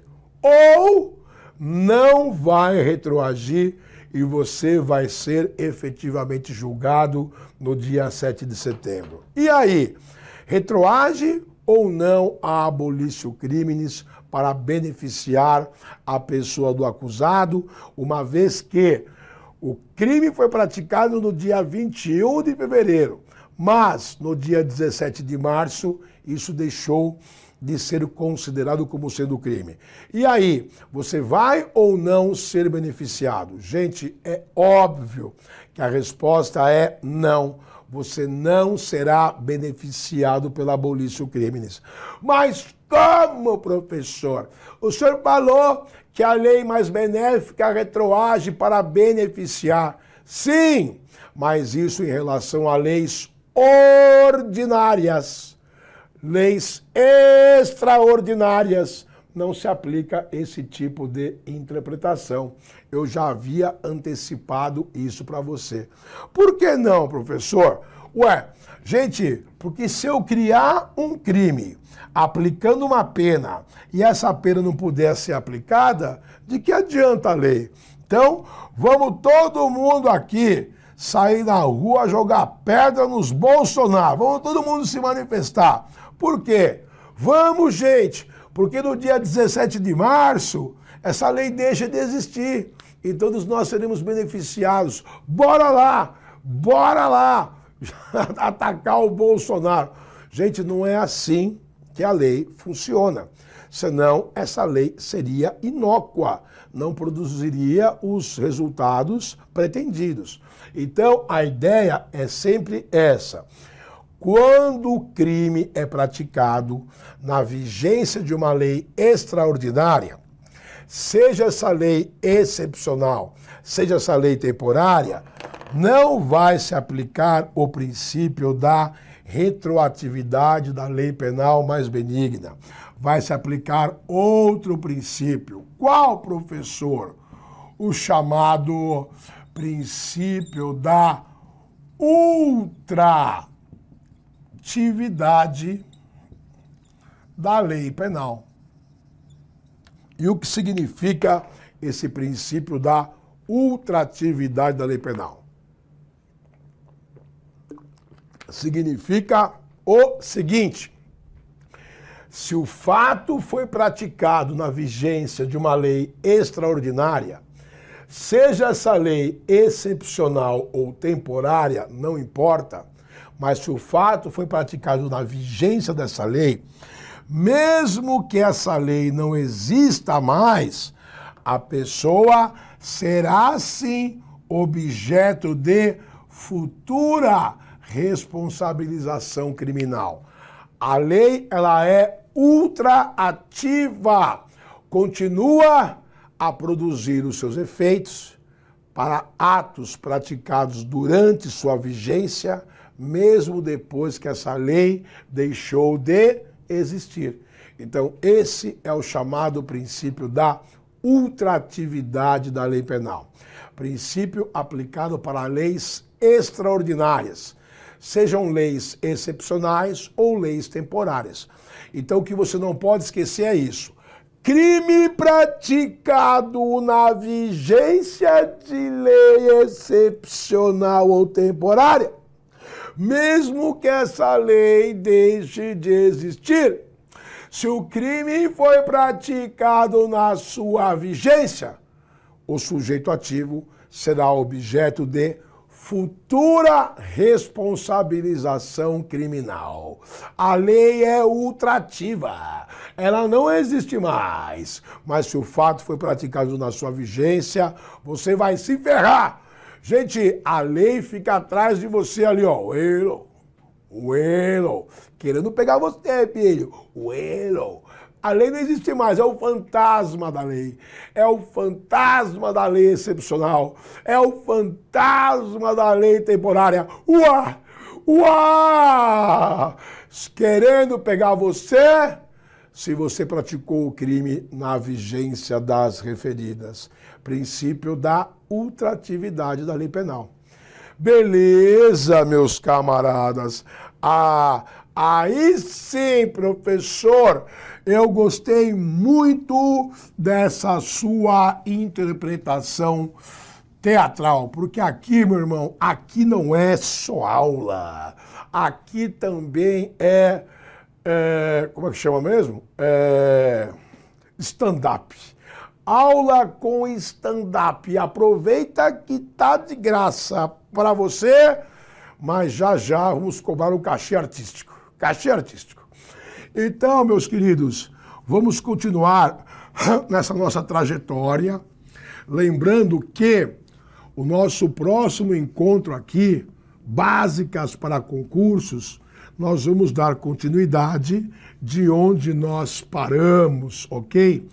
Felizmente, o AlphaCon, cara, ele é um curso muito generoso nesse ponto de dar livre arbítrio ao professor de escolher a matéria que vai lecionar.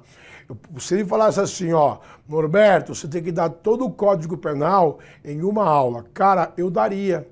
Mas como a aula é justamente para o pessoal que está iniciando agora, a gente vai mastigadinho, né? Bacana isso, a gente tem tempo de explicar de forma mais detalhada. Para quem já é veterano no assunto, vai solidificar o conhecimento. Para quem é novo no assunto, vai aprender melhor. E assim vai. E eu vou mais longe. Cara, o Alfacom tem isso de bom. Eu sou muito fiel, cara. Sou fiel a Deus, primeira coisa, mas eu sou muito fiel ao curso. Eu conheço o Evandro, sei do compromisso dele, cara, com os alunos. Conheço os professores do Alfacom, a equipe técnica que está atrás da gente aqui no Alfacom. Tudo gente compromissada. Compromissada com você, cara, em de você ser aprovado porque sua aprovação é o nosso sucesso, né? Que adianta você não ser aprovado? Você é o nosso carro-chefe. E é muito bacana nesse sentido da gente ter essa autonomia, né, de lecionar para vocês. Então aproveite e concluindo o que eu estava falando, me perdi um pouco. Muito bom do Alfa com o quê? Vários professores da mesma matéria. Eu não vou mencionar aqui todos os professores de penal do Alfacom. Tem mais de um, né? tem vários. Não vou falar porque eu tenho medo de esquecer de algum, mas o bacana é isso. O que um professor fala, você complementa com o outro. Os que estão sempre mais próximos de mim aí é o Fávero e o Leone Maltz. O Leone Maltz, inclusive, foi meu aluno. O Fávero já não, mas é, e tem outros, outros professores de penal aqui também. Então a gente aqui é igual uma família, cara. A gente não disputa entre a gente. A gente torce sempre pelo aluno. Então o que eu falo, às vezes complementa um pouco o que o outro falou, o que eu não falei, o outro fala, o que o outro não falou, eu falo. Então é assim que você vai montando o seu caderno de estudos. Você tem a possibilidade de ter um direito com mais de um professor. E eu acho isso aí fantástico, cara. Eu acho isso aí maravilhoso. Beleza? Então vamos lá, que ainda temos um tempinho e eu quero falar aqui no item 4, o nosso tópico. Agora vamos falar do tempo do crime. Eia! Gente, primeira coisa, é, tempo do crime. Tá aqui, ó, no artigo 4 do Código Penal Brasileiro, beleza? Só que olha a lembrança, não confunda cu com bunda, não confunda tempo do crime, artigo 4 do Código Penal Brasileiro com a lei penal no tempo, artigo 2 do Código Penal Brasileiro. A lei penal no tempo, nós já conversamos aqui com vocês, é ou não é? Princípio da retroatividade de lei mais benigna, princípio de retroatividade de lei mais gravosa, não é isso? Isso é a lei penal no tempo. Tempo do crime tem outra percepção tem outra interpretação aqui, beleza? Bom, por que, que é importante, professor, saber o tempo do crime? Gente, é tão importante que existe um brocardo latino. Olha o nome, cara. Brocardo. Latino. Professor, é o cantor latino é aquele. Não, não é isso, irmão. Que latino, porra. Aqui é um brocardo latino. Brocardo. São citações em latim, beleza? Então, existe um brocardo latino que diz: Tempus regit actum. O tempo rege o ato. Cara, então para o direito penal, o tempo ele é muito importante. Por que o tempo é importante? Por vários motivos. Para saber, por exemplo, o cálculo da prescrição do crime. o cálculo da prescrição. Professor, o que é prescrição do crime? É quando passa muito tempo e o Estado não pode mais punir. Prescrição, na verdade, é o que? É a perda da pretensão punitiva do Estado. Passa muito tempo e o Estado não pode mais punir a pessoa. E você sabe que, nos termos da Constituição Federal, nós temos somente dois crimes imprescritíveis do Brasil. Em termos constitucionais, quais são esses crimes? É o crime de preconceito racial e o crime de formação de grupos armados contra o Estado Democrático de Direito. Os demais crimes todos prescrevem a princípio. Beleza? E como é que eu calculo, professor, esse tempo de prescrição? Justamente, é para isso que você está vendo aqui, ó, o tempo do crime. Também é importante, em relação ao tempo, saber o quê? saber se quando o crime foi praticado, você era imputável ou você era inimputável ou você era semi-imputável, mais ou menos doido.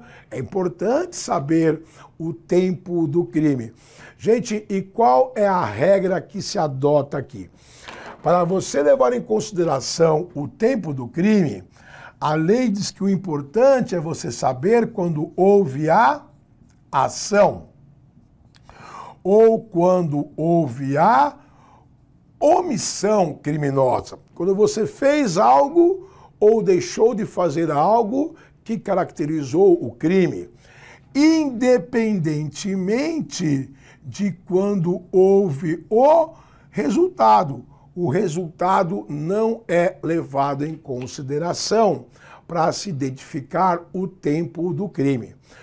Como o que interessa é o momento da ação ou omissão, esse tempo do crime, ele é chamado, ele é chamado conhecido como teoria da atividade. Teoria da atividade. Gente, quer ver um exemplo? Ó, clássico. Vamos supor que hoje, dia 18 de fevereiro, você brigasse com o seu vizinho. E você tá com muita raiva do seu vizinho. E você quer matar o seu vizinho. Não faça isso, filho. Não faça isso. Perdoa. Perdoa. Mas você deu um tiro no seu vizinho Trau! Ah, meu Deus do céu! Mas o seu vizinho não morreu. Ele foi socorrido ao hospital. Ele ficou internado. Ele entrou em coma. Meu Deus, olha o que você fez, porra! Só que no dia 24 de dezembro, véspera de Natal, o seu vizinho morreu. Meu Deus do céu! o crime é homicídio. Beleza. A pergunta é: eu começo a contar o prazo de prescrição para julgar o crime de homicídio a contar de quando? A contar de quando você deu o tiro? Ou eu começo a contar o prazo de prescrição a partir do momento em que ele morreu?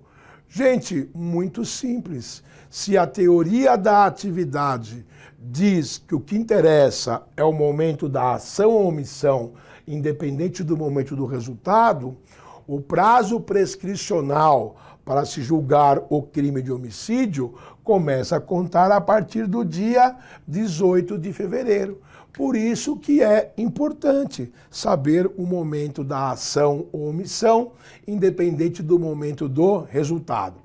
Se você deu o tiro no seu vizinho hoje, e você hoje tem 17 anos, 11 meses, 29 dias, então você é menor de idade. Você matou o seu vizinho hoje, ele morreu, e você fugiu. E você foi capturado segunda-feira, quando você já tinha 18 anos de idade. A pergunta é: você cometeu crime ou cometeu ato infracional? Você foi capturado maior, mas você deu tiro no cara e matou quando era menor. E aí, crime ou ato infracional? Usa-se a mesma interpretação. O que interessa é o momento da ação ou omissão. Se quando você deu o tiro no vizinho e matou, você era menor de idade, você não cometeu crime, você cometeu um ato infracional. Beleza, meus queridos? Já estamos aqui com duas horas de aula ininterrupta. Eu queria agradecer a Deus, primeiramente, a todos vocês que nos acompanharam. Meu muito obrigado. Obrigado aos monitores Alfacom, que estão junto com a gente aí nessa caminhada sempre. Obrigado aqui à equipe técnica do Alfacom, hoje representado por Tiago Melo. Tiago Melo aqui nas picapes, mais conhecido como Tiago Mama. Tiago Mama, é o Tiago Melo. Meu muito obrigado a todos vocês, a equipe Alfacom.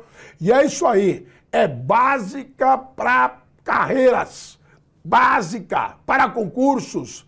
Hoje, primeiro encontro de um total de três. Se você curtiu, fica atento aí no calendário Alfacom. Semana que vem tem mais, beleza? Grande abraço a todos.